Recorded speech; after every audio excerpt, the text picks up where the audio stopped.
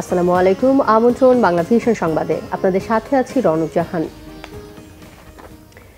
করোনায় বাংলাদেশ সহ সারা বিশ্বের নারীরা অর্থনৈতিক ও রাজনৈতিকভাবে বেশি ক্ষতিগ্রস্ত হয়েছে বলে মত দিয়েছেন প্রধানমন্ত্রী শেখ হাসিনা। তার দাবি, তাই ক্ষতিগ্রস্ত প্রতিটি দেশকে কর্মক্ষেত্রে নারীদের বিশেষ প্রণোদনা দিতে হবে। জাতিসংঘ সাধারণ অধিবেশনে নারী বিষয়ক এক বিশ্ব সম্মেলনে ভার্চুয়ালে অংশ নিয়ে শেখ হাসিনা এই আহ্বান জানান। একই সঙ্গে অভিবাসী শ্রমিক ও দেশে দেশে নারী শ্রমিকদের কাজের সুরক্ষার আহ্বানও জানান তিনি। বিশ্ব অর্থনীতি ও রাজনীতিতে নারীদের অংশগ্রহণ বাড়াতে সব দেশের সরকার ও রাষ্ট্রপ্রধানদের নিজ নিজ অবস্থান থেকে ভূমিকা রাখার আহ্বানও জানান প্রধানমন্ত্রী শেখ হাসিনা।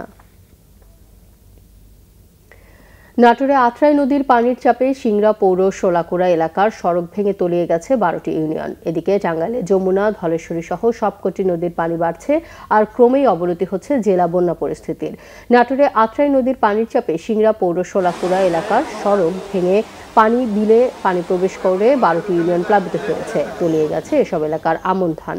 পানির স্রোতে ভেঙে যাচ্ছে বসতবাড়ি এছাড়া উপজেলায় দুই হাজার সাতশো হেক্টর আবাদি ফসলহানি হয়েছে বলে প্রাথমিক ধারণা করছে কৃষি বিভাগের। টাঙ্গাইলে যমুনা, ধলেশ্বরী সহ সবকটি নদীর পানি বিপদসীমার উপরে বইছে। ফলে জেলায় পঞ্চম দফায় বন্যা পরিস্থিতির অবনতি হচ্ছে। পানির তোরে ভেঙে গেছে বাসাইল উপজেলার গারামারা বিলের কালভার্ট। এতে মির্জাপুর, দেলদুয়ার ও বাসাইলের চোদ্দটি গ্রামের এখন যোগাযোগ বিচ্ছিন্ন। পানিবন্দী নিম্নাঞ্চলের কয়েক হাজার পরিবার। ডুবে গেছে রোপা আমন সহ বিভিন্ন ধরনের ফসল। এছাড়াও বিভিন্ন এলাকায় অব্যাহত রয়েছে নদী ভাঙন। এই ছিল এখনকার মতো, পরের সংবাদ বেলা বারোটায় দেখার আমন্ত্রণ রইল।